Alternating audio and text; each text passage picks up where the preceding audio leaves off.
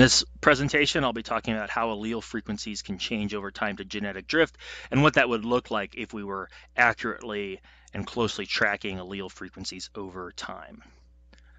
Our case study here is we're talking about the evolution of lactose tolerance and how hypothetical genes for lactose tolerance would change over time.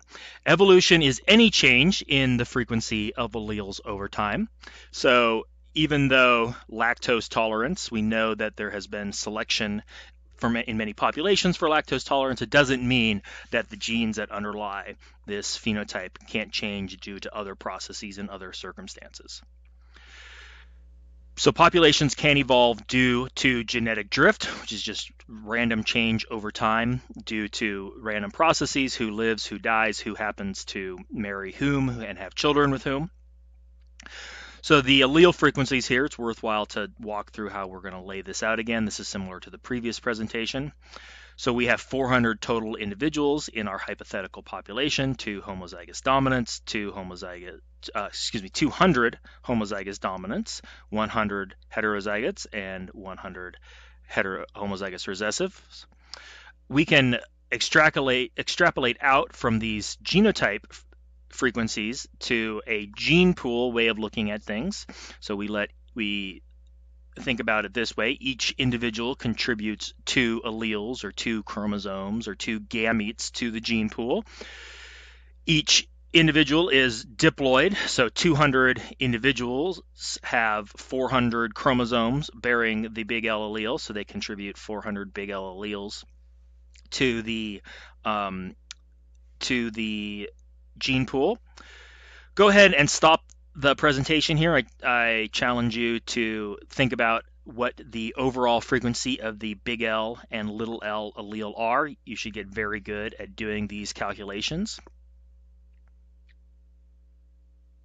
Seriously, stop the presentation, do the math, make sure you can do it.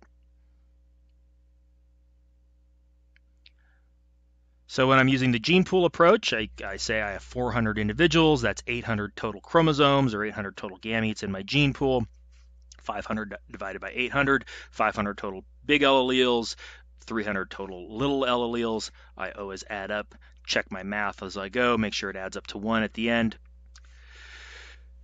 So we can start off with our allele relative frequencies. We can make a pie chart. It's a good way to visualize the relative frequencies of those alleles. And this is the frequency of alleles in our theoretical gene pool. We can also present it as bar graphs if we want. Now, over time, the frequencies of alleles in a gene pool can vary randomly over time due to genetic drift. And this is evolution. It's just as good a form of evolution as natural selection or any other.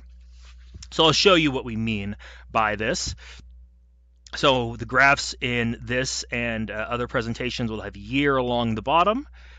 Uh, we'll say that our, we're caring about a process of uh, about 800 years, and the y-axis here is the frequency of the L allele. We'll start out at point uh, zero, excuse me, 0.625 over here, and I just randomly made up some data where the frequency of the allele is increasing over time here, and I'm saying this is due to genetic drift.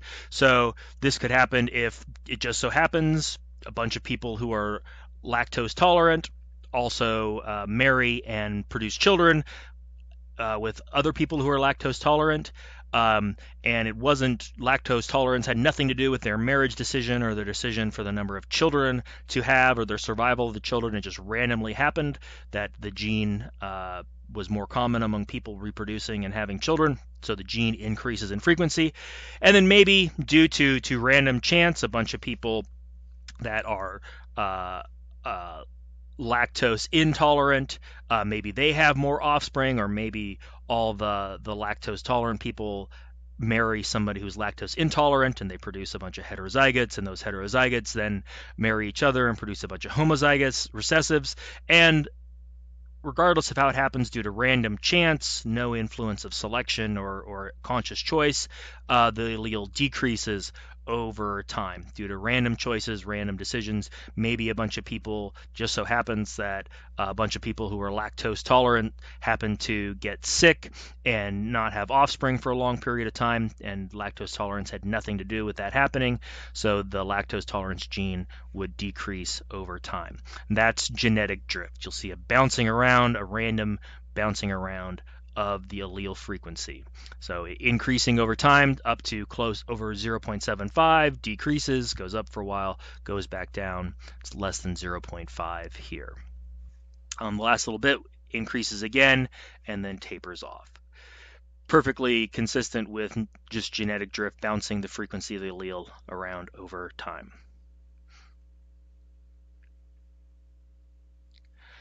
Key thing about genetic drift is it's most pronounced in small populations. This is a very, very important thing to know about genetic drift. Genetic drift, the the amount of change that's possible increases as population gets smaller. All populations are subject to genetic drift. The only exception to that is if the population is infinitely large. No population is infinitely large, so therefore all populations are subject to genetic drift.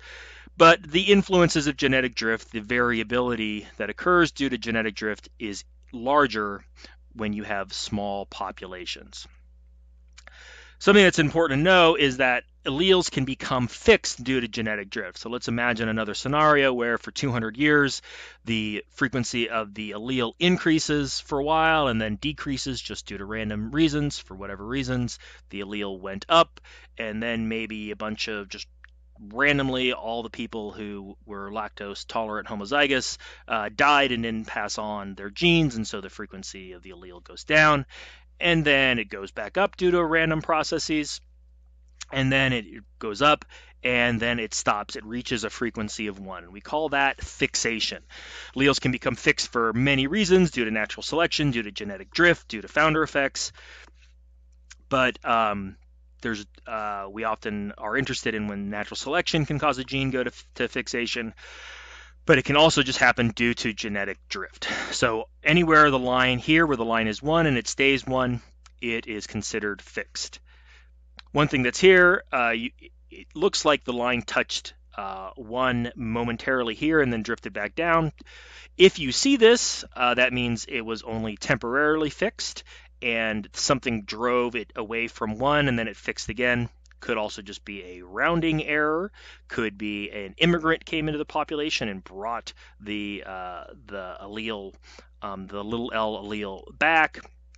Could be a mutation brought it back. Then we go back up to fixation so when uh, an allele is fixed, that means the frequency is 1. So that means if we have 400 individuals in our population, 800 chromosomes in our gene pool, that means the frequency of big L is 1, and the frequency of little l, you can't see it here on my screen, but it is 0. So your graph would look like this.